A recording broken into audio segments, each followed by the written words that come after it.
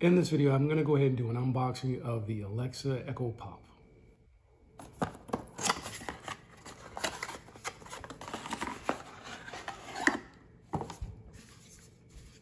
Echo itself.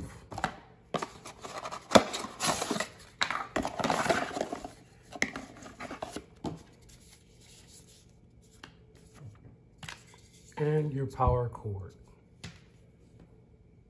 Now to get started, all you're gonna need is Wi-Fi and the Alexa app to get started. Next, you wanna download the Alexa app from your app store. Now, once you set up your Alexa, just plug it in and go through the prompts. It's gonna ask you to uh, enter your personal information. After you do so, you'll be ready to go.